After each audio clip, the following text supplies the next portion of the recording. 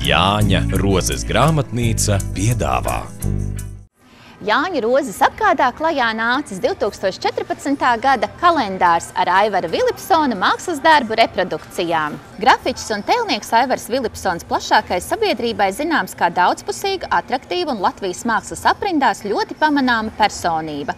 Nevienmēr cilvēkam ir iespēja aiziet uz izstādi un redzēt visus mākslinieku darbus klātienē. Tādēļ kalendārs kalpo kā līdzeklis, lai iepazīstinātu ar mākslinieka darbiem pēc iespējas plašāku cilvēku loku.